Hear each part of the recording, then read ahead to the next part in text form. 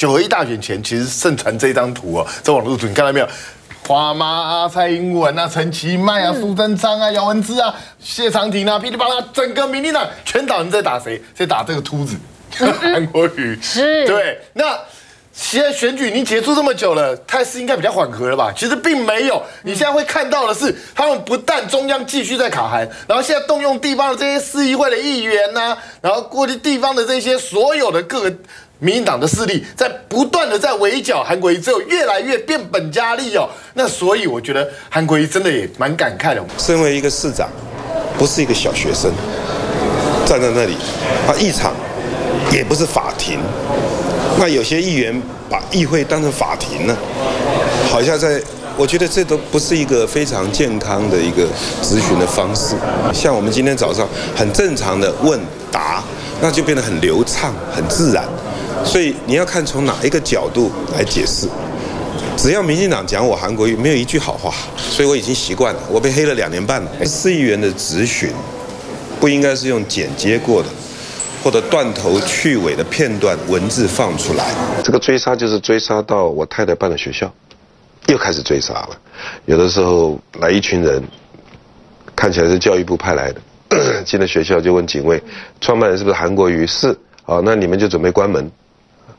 那警卫哈也搞不清楚，学校也搞不清为什么我们学校关门呢？这个是牵扯到他这个派系的斗争性格，他没有想到哑巴被打久会讲话的。有一种方法就真的离开了。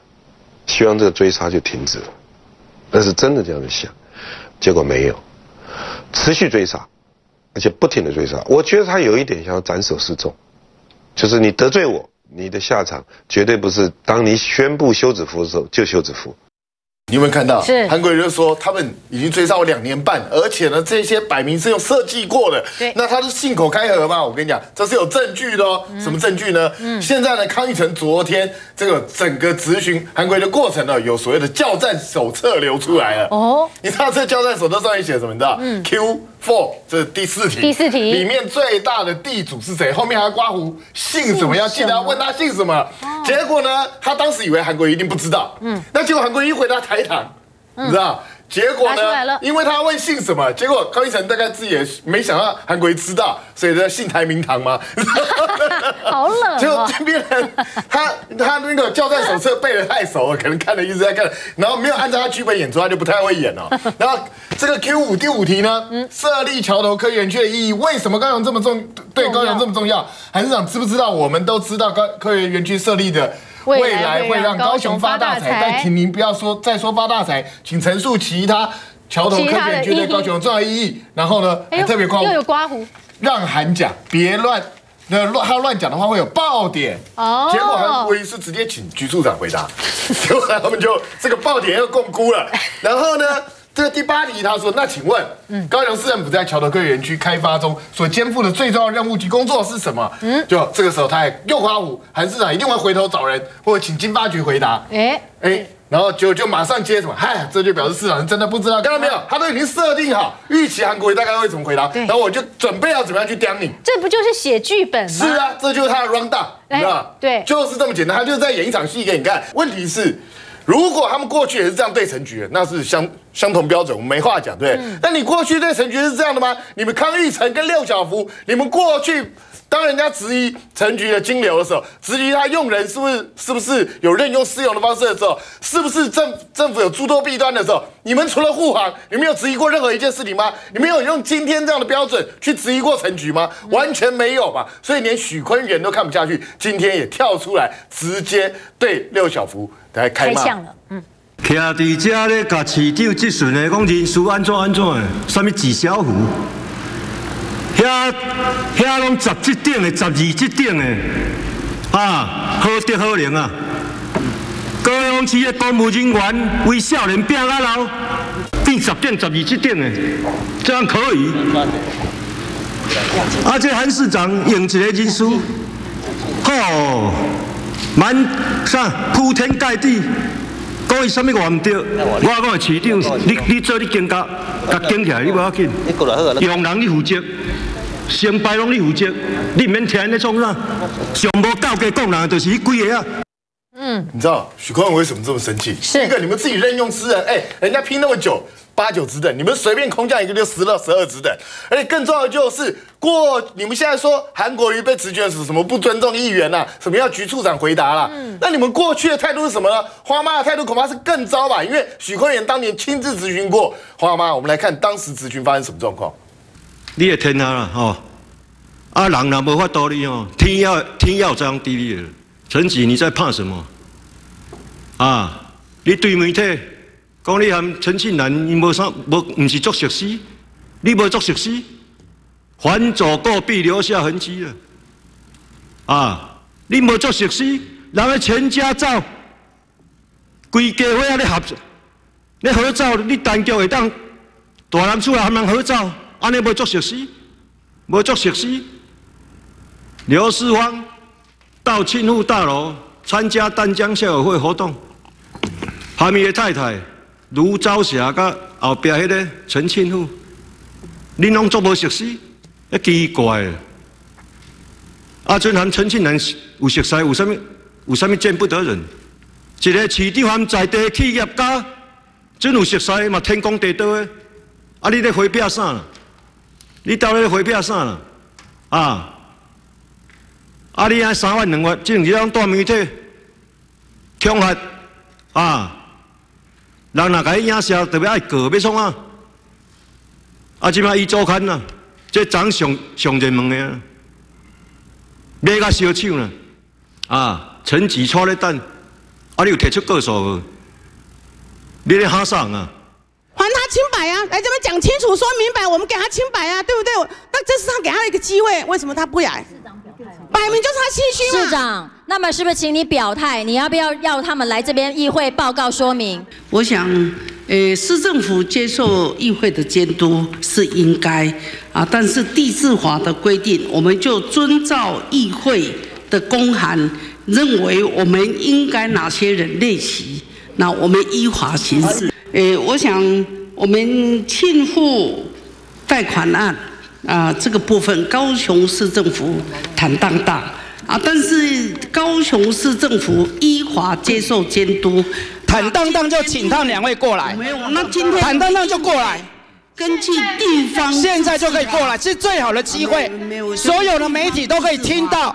那没有关系，就我们按照地方自治法，请市长，我们现在正式邀请这两位列席，我们是不是请市长是？议长，我拿议事规则给你看，不用，请时间暂停。请你邀请相关负责人，相关负责人不是只有单位主管，不想漏你的气，条文不是这样规定的，白纸黑字，看错了吗？白纸黑字。康议长，议长，给议会一点尊严。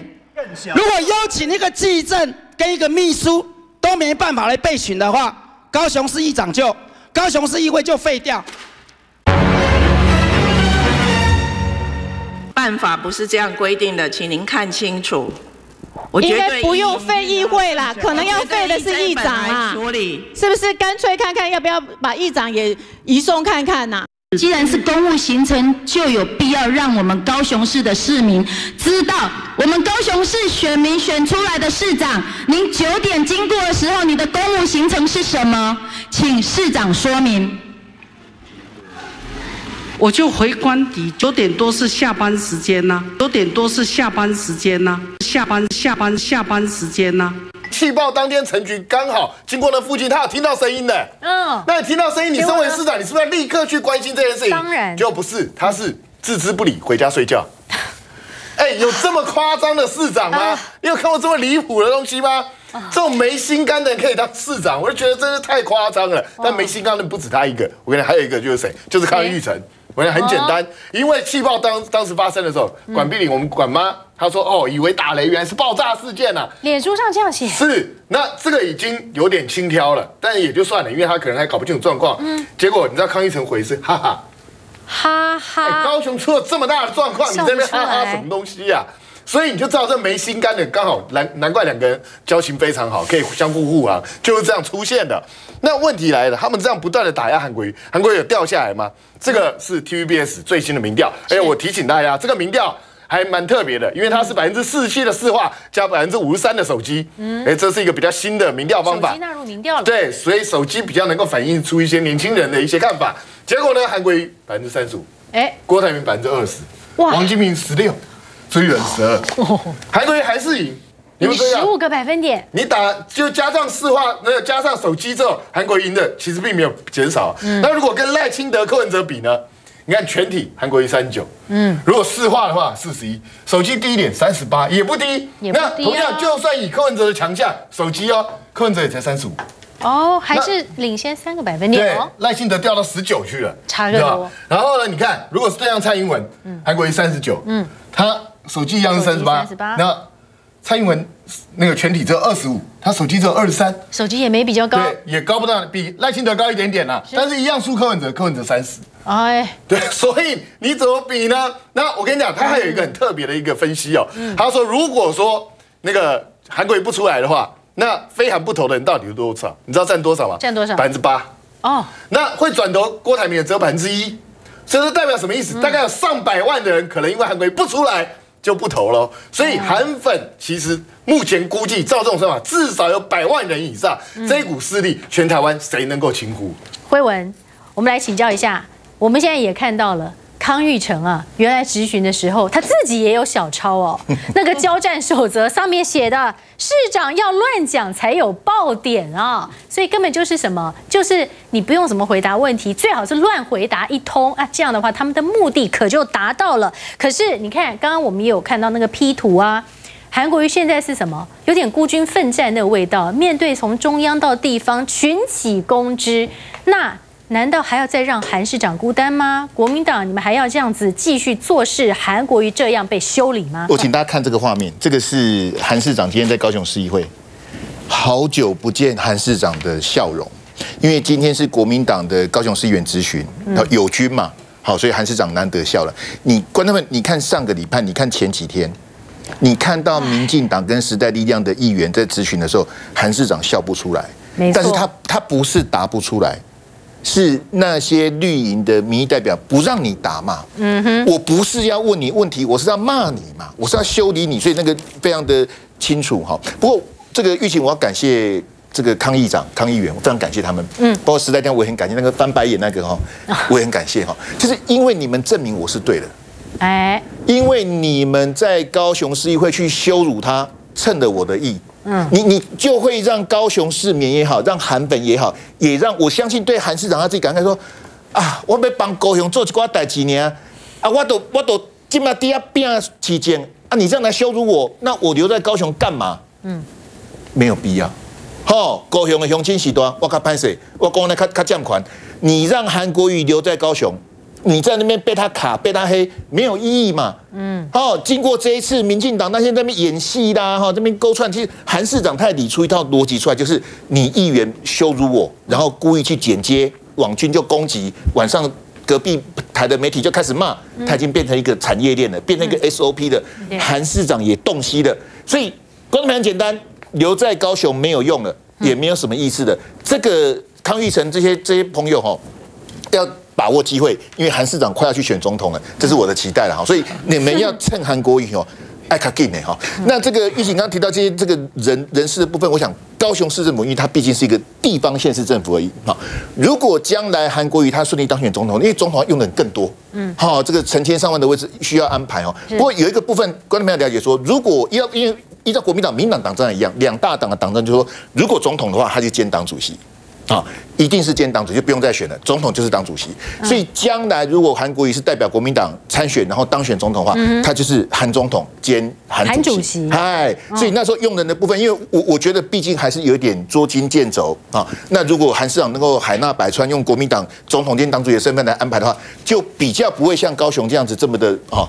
他他拍施展手脚，当总统就问题就不大了。好，我们来看这这个是最新的民调，刚刚韩明兄也有介绍，这个是到今天最新的二十八个哈，我自己统计二十八个民调，韩市长是二十三比五。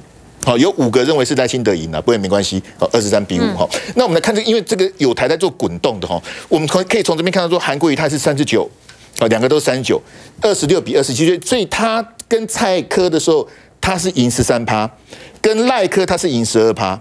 这是今天最新公布的哈。那滚动式的呢，跟上一次比啊，你会发现韩市长微微的掉了三趴。嗯，不过这一次因为它的样本比较少，所以这个误差稍微大一点，是三点二，好，正负三点二。我们来看这个郭台铭的部分，郭台铭只赢柯文哲赢一趴。嗯，好，不管是对上蔡或对上赖，他都只赢一趴。我们看滚动的部分呢，其实郭台铭的领先，他上次赢比较多。